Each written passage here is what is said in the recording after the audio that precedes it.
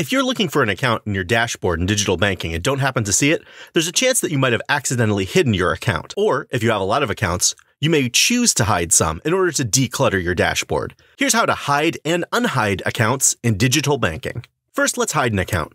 Here on our dashboard, you can see this share certificate.